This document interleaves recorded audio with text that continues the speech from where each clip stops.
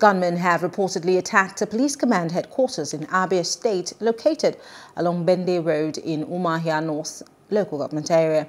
A yet-to-be-identified police sergeant was killed during a gun duel between policemen and the gunmen.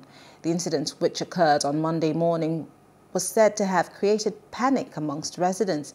The police public relations officer, Geoffrey Ogbonna, could not be reached for comment as of the time of filing this report. A team of police officers repelled the attacks. A team of policemen and soldiers have been parading the streets of Umuahia following the incident.